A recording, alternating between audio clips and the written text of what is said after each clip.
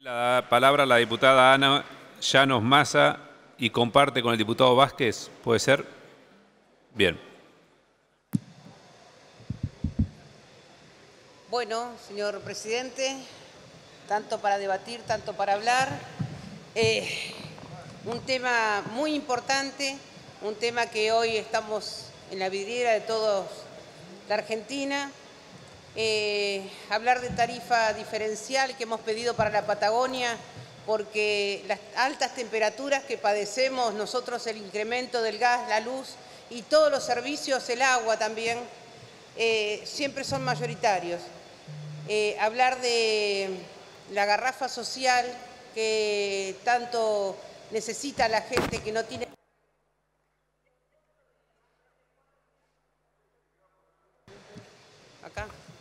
Perdón, diputada. Tiene un costo de 94 pesos y hoy están pagando entre 250 y 300. Pregunto también cómo llegar a fin de mes cuando esa garrafa que llegan y usan tienen que ser entre 4 y 5 envases porque les dura una semana. El incremento del costo de la luz y el agua en Comodoro Rivadavia en marzo del 2016 fue del 125%. En junio del 2017 fue de un 60%. Eh, este año el incremento es de un 35%. Este costo nos lleva en los dos años 220%. El tema de cooperativas, estamos hablando porque también estamos tratando de acompañar y, bueno, y ver cómo podemos mejorar el aumento de la energía para las cooperativas en el mercado mayorista. Entre marzo de 2016 también fue 112 megawatts.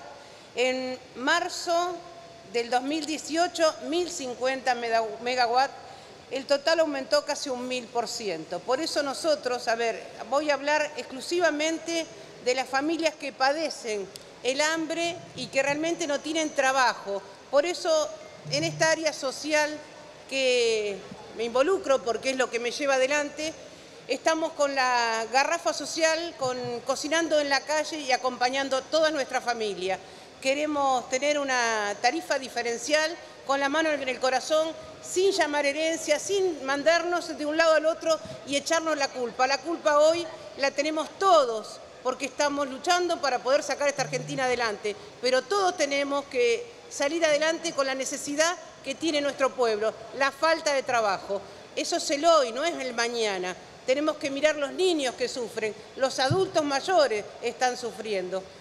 Bueno, voy a reducir porque tenía mucho más para hablar, pero para compartir con mi compañero quiero dejar eh, un mensaje con la mano en el corazón y con el corazón puesto en nuestro cuerpo. Nuestros adultos mayores, nuestros niños no pueden padecer la necesidad de nuestros ricos. Así que pongámonos en, ese pensamiento y ayudémonos entre todos. Muchas gracias. Gracias, señora diputada.